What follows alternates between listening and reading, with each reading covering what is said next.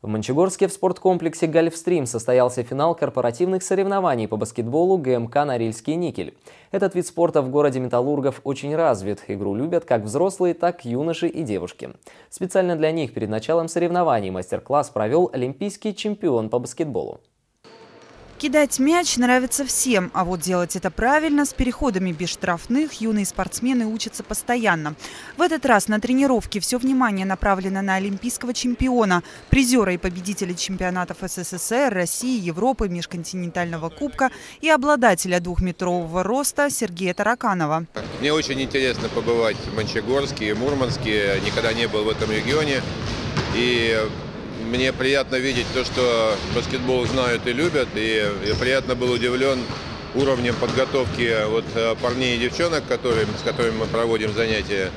Это, опять же, внушает оптимизм. Быстрый прорыв на баскетбольном поле стал главным элементом тренировки. Звезды игры гулливеров отрабатывали тактические приемы при движении к заветному кольцу соперника. Все-таки больше хочется обратить внимание на технику, потому что это изначально, а потом уже дальше все как пазлы должно сложиться. Следующее задание. Э, левую ногу вперед и под ногой. У вас вперед под ногой. Стой на месте. Начали. Левую ногу вперед. Правильно и точно отдавать пас, держать оборону корзины, оттачивать технику необходимо каждый день, шаг за шагом.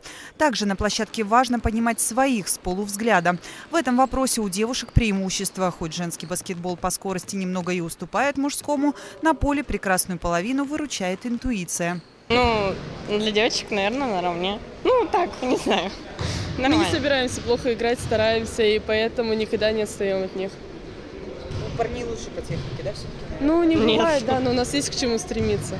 Бывает, конечно же, Оля. Ну, некоторых, да. Каждый что-то узнает для себя новое и впоследствии это применяет. Ну, я лично большой опыт получил.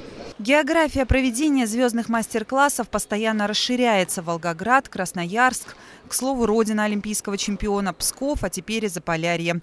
Сергей Николаевич признался, в тренерской практике были случаи, когда из маленьких городов ребят приглашали в олимпийскую школу. Я вспоминаю свою юность. Я, мне так хотелось развить левую руку, что я ел левой рукой, ходил в припрыжку, потому что хотелось э, быть прыгучим. Мне удивительно, когда в таких небольших городах, как Мочегорск, есть э, команды, и не одна, и тренеры с ними занимаются, есть у, у ребят э, желание заниматься баскетболом, есть определенные навыки, над которыми понятно, что нужно работать, равно как и, не знаю, профессиональные игроки, и то тренируются и, и совершенствуют свои навыки. А уж ребята 14-15-летние, конечно, им еще много что, что нужно дорабатывать. В этом, в принципе, и состояла наша функция сегодня. Последний